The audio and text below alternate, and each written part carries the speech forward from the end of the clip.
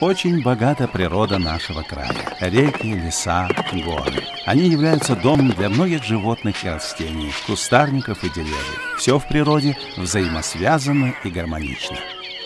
Как хорошо на природе. Лес, ягоды, родниковая вода и чистейший воздух.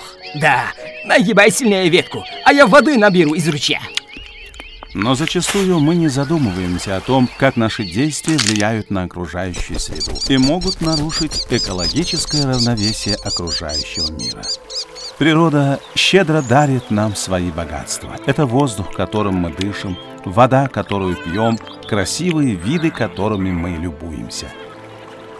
Горные леса имеют жизненно важное значение для сохранения и развития экосистемы, для обитающих в них животных и растений.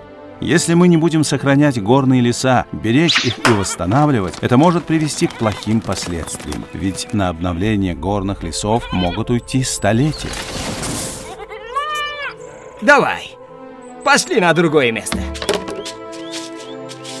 Стоит ли говорить лишний раз, что потребительское отношение к окружающей среде и оставленный в лесу мусор негативно отразятся на тонкой экосистеме, частью которой мы являемся? Ведь период разложения обыкновенного полиэтиленового пакета может составлять до 400 и более лет. И когда мы увидим плачевный результат нашей деятельности, может быть уже поздно. Поэтому нужно всегда успевать исправлять и не допускать подобных ситуаций. А что нам теперь делать? Эх, ребята, ребята. Ну, во-первых, нужно погасить огонь и убрать весь мусор. Иначе огонь уничтожит весь лес. А теперь нужно посадить лесные деревья, чтобы восстановить наш лес. Но даже исправлять ситуацию нужно очень внимательно, сознанием дела, ведь у природы есть свои законы. Не всякое деревце можно посадить в лесу. Они могут с собой принести вредных насекомых и болезней.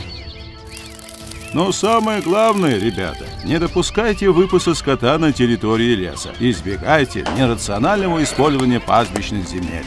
Помните, мы находимся в гостях у леса, а поэтому будьте аккуратными и не нарушайте его покой.